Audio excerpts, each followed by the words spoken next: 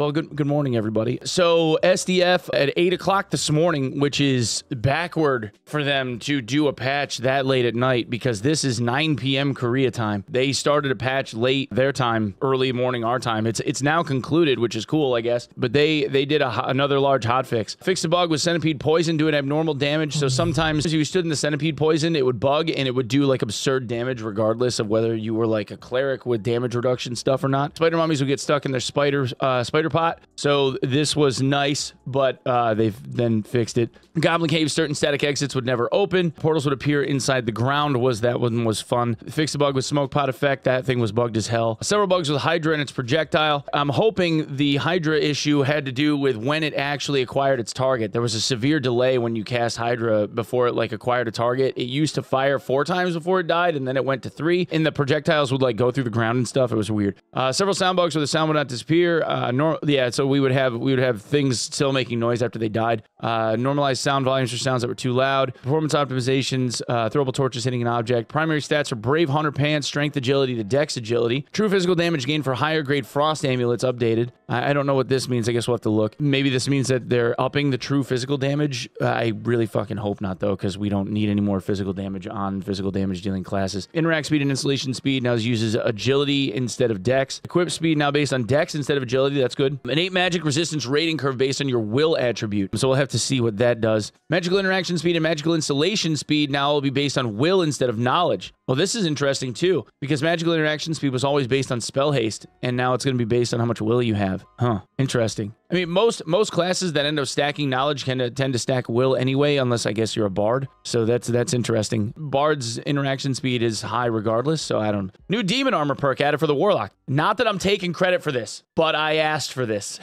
Stupid streamer suggestions being what they are. Terry asked me about the warlock because I've been bitching about warlock and their survivability forever, and and I suggested like a perk that allowed for like another 10% PDR. But this is interesting. The perk allows warlocks to wear plate and chain armor, but must sacrifice a large amount of their magic heal. So this is interesting because the the availability for them to gain some frontline fighting capability is kind of huge and high PDR Warlock might actually be really fun. Uh, updated primary stats for golden crafted items. So big question with golden crafted items. Uh, all of all of the stat changes that got made for all the armor that people were wearing, the stat changes that got made for like found in raid or, like found armor made, um, but not crafted armor. The golden armor didn't get like the big stat buffs that you were seeing across the board for everything. So now that they've changed this, uh, golden items will probably be in a shit ton of lobbies again. Updated the amount of magic resist gain per rarity for dark plate, dark leather, dashing boots, uh, and runestone gloves. I'm guessing this is more magic resist. Updated the amount of projectile damage reduction gained uh, per rarity for fine cuirass, uh, heavy gauntlets, plate boots, etc., etc., etc. Okay, so anti anti ranger. I'm guessing updated means increased. I hope it means increased. Bardiche attack multiplier for each hitbox has been changed from 160 to 170. So they've they've increased the sour spot hit for uh, a whole bunch of stuff, which is good um, because we kind of needed it. Stuff like Flange and Morningstar have such a small sweet spot for their their hits that not hitting it felt really shitty. So I'm glad that they're giving like a little bit of love to like Flange Mace and uh, and Morningstar. Attack multiplier for Spear. Spear almost never hits Sour, so that's kind of weird, but whatever. Recovery from surgical kits is now treated as physical healing. This is good too. Surgical kit, physical heal, is that a, is that like an actual amount? I guess if you're a barb, it, it would matter. Uh, Howling Crypts has now been removed from the map rotation, has been replaced with another instance of Ruins. So now instead of doing the Howling Crypts run, it's going to be two instances of Ruins because of like the the the three map run. So I mean, I'm I'm fine with this actually. That, that's a that's a pretty big change, but I'm actually kind of fine with this because the most AP that you would get if you're running HR in a in a single time frame is the the ruins to Howling Crypts to Inferno like loop. So this this actually, if for people that are trying to like grind their way to demigod and stuff, um, this is actually more beneficial for people over time than uh, than to have the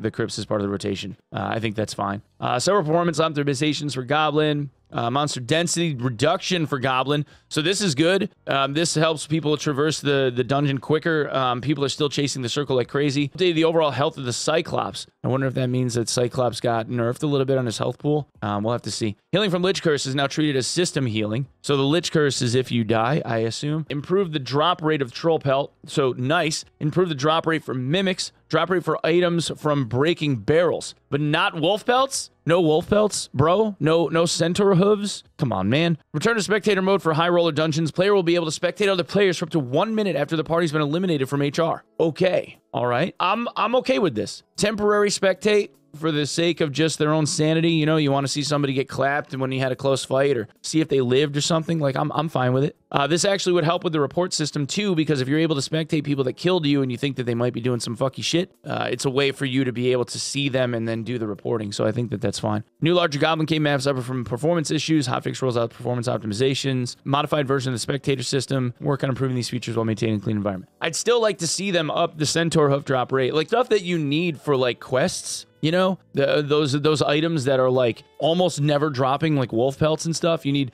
15 wolf pelts at a two or three percent drop rate. Like that kind of sucks. That's pretty grindy. The centaur hoof is a one percent drop rate. You know, st stuff like that. I'd like to see them fix. You know, a single one one to two percent drop rate for spider silk. Like those kinds of things are things that um, when they drop, it feels really special. You know, but of course, then you have to like live and get out with them. So if you're getting beat while you're finding those rare items it, it kind of sucks. I'd like to even like 5% would probably still feel grindy, but not feel like it's uh it's a futile effort, you know, to try and get that shit without uh without spending like literal days trying to find like a single drop, you know. Pretty cool. I'm down with uh with these changes and I I like think that the uh the plate warlock will be pretty damn fun. Emergency hotfix will be released soon. Do not enter the barracks module in the Howling Crypt. wait, wait, what? oh no. Oh no. People have fallen through the map. I feel like if you enter the barracks module, maybe there's no floor. Maybe you fall through the map. So demon armor. Incoming magical healing. Uh, gain the ability to equip plate armor, lose incoming magical healing by 75%. So I guess that would affect cleric heals. So you're you have incoming magical healing reduction of 75%. So let's uh let's let's see what that or how that kind of plays. We'll just do yeah, so like everything opens up. So we'll just do um like some basic shit, I guess. Okay, uh first test.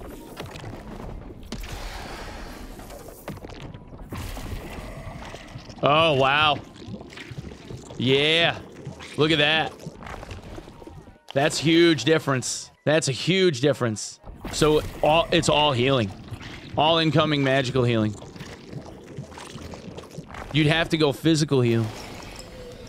I wonder if that affects the potions too.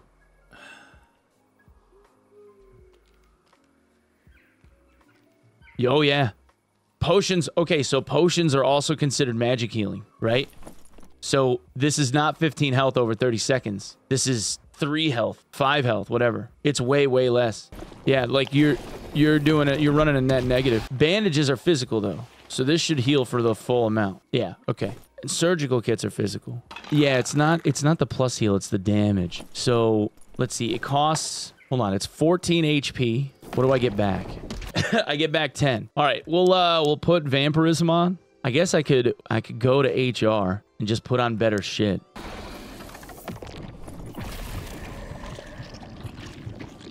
That's break even. All right, so base magic power bonus uh, ish, because this is a 5.7% magic staff. So I think base power bonus blue staff, you break even on the cast cost. After that, you would net a slight amount of HP based on the damage scaling. So you need you need naked blue staff, it would do it. Yeah, right there. I gained I gained three HP. So instead of healing back to what it cost me, I net three health on what I've got. So plus plus two true and another 20% magic power bonus. Gives me three health. So, all right. Moral of the story, though, is unless you have a lot of damage gear in order to make the life drain make sense, because I'm running vampirism too. So it's vampirism with blue staff. So unless um, you're running like a bunch of plus damage shit, the self heal stuff is not worth it. Because I think I think in order for this to really net out anything, because it's four points, you're you're talking a four to one, right? It's it's four points of damage for every one point of healing on life drain. So because I have plus I have plus two true, so it's three point two four. All right, so if it was purple staff. So that'd be 5, which is half a 10. Plus 1.5, that's 6.5. Times 1.2. Well, if it was 60%, we'll say it's 30%, right? So it's 8.45. Plus half of the 11. So that'd be 5.5 times 0.45. 6, per, 6 damage per second. So that it'd be 6, 6 health healed per tick, right? And it's five ticks, so that's 30 HP on 14. So you're getting back double what the cast cost of Hydro would be, like Hydro Life Drain, if you could get the full restoration. But even still, like Hydro Life Drain standing still for like eight seconds would give you 30% of your health back. With like like purple that's purple staff purple staff plus 11 damage on your gear. That's like that's like full full damage full magical damage build out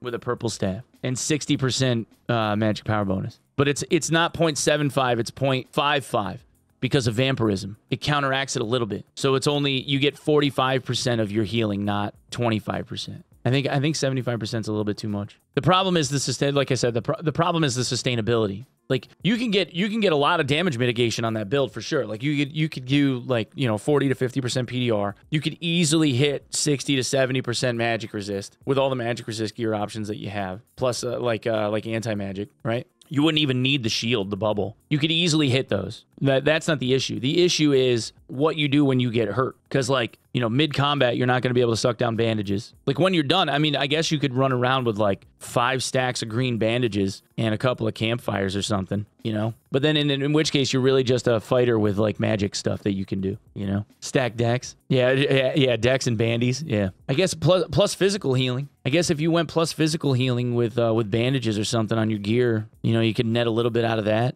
maybe? Or like or like do a little bit of vigor stacking and sit but you're really only getting recoverable health then. You like i still think you need enough to be able to net positive on the cast for life drain because it's got to be a life drain thing. That's the only that's the only thing that makes any damn sense. It has to be a life drain thing. Like running like a curse warlock with torture mastery doesn't make any fucking sense at all. Um on a on a plate build with that much reduced healing like you'll never see it. And and the healing is done in tenths. So like they you could you will definitely get less than one hp per tick. Wizard high damage warlock front lines enough could take chain lightning. Yeah so i mean like there's there definitely is that. Like if you could if you could build a warlock in a way where they had good damage mitigation and you could just kind of like double you key at people with all that magic resist uh you could kind of laugh off a caster for sure. Like a wizard would be nothing. You'd be able to just face tank magic missiles and it wouldn't even bother you. There's definitely something there for it. I just think that the self i, I think that the magic heal penalty is too high